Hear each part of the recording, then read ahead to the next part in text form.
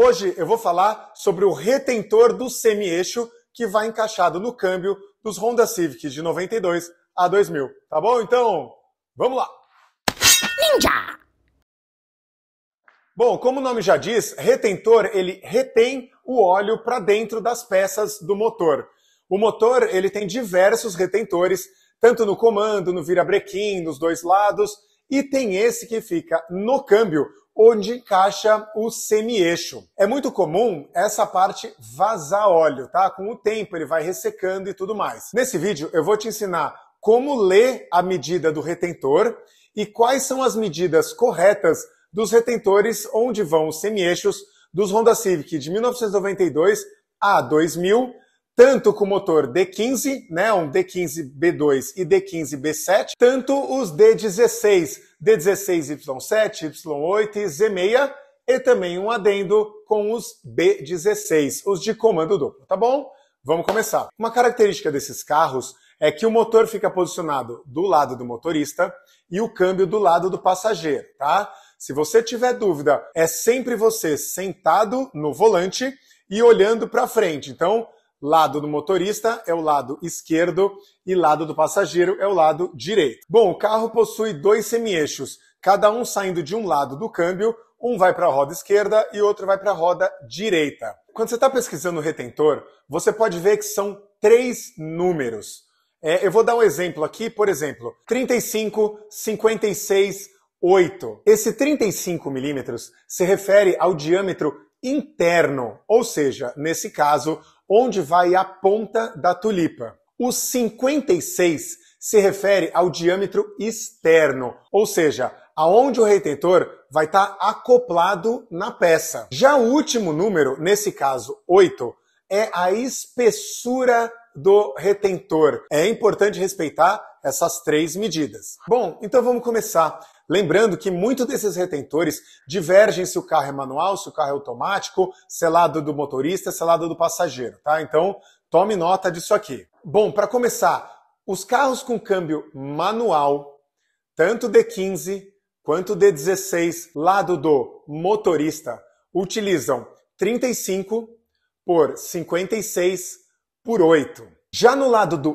passageiro é 35 628. Percebam que ambos têm 35 milímetros, que é o tamanho da tulipa.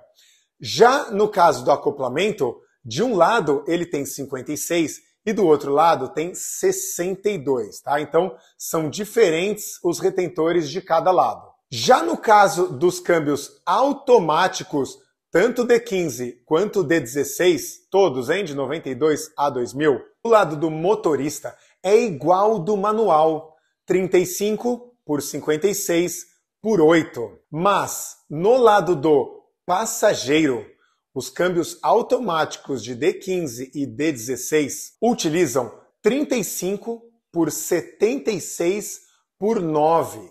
Já no caso dos B16 de comando duplo, o retentor do lado do motorista é o mesmo dos D15 e D16. O B16 tem uma peculiaridade no semieixo que ele é dividido em duas partes. Porém, a parte que vai para dentro do câmbio é o mesmo tamanho dos D15 e D16. Ou seja, o retentor do lado do motorista dos B16, VTI e tudo mais também é 35, 56 por 8. Já no caso do lado do passageiro dos B16, por ele ter um semi-eixo mais grosso, o retentor é o 40 por 62 por 8. Percebam que o 40 milímetros é devido à espessura do semi-eixo, que é maior do que o 35 milímetros dos D-Series. E esse vídeo vai continuar lá na área de membros. Eu vou falar quais outros carros utilizam essa mesma medida, quais marcas de retentor eu recomendo e onde comprar essas peças mais baratas. Lá eu já falei de filtro de óleo, junta da tampa de válvula, bobina. Na área de membros, eu estou trazendo as marcas que eu indico, os modelos das peças e onde comprar mais barato. O pessoal lá da área de membros já está economizando pra caramba. Eu estou trazendo esse tipo de conteúdo lá para os membros do canal, que além de ajudarem o canal a sobreviver, porque eu vou trazer muita coisa ainda de Hondash.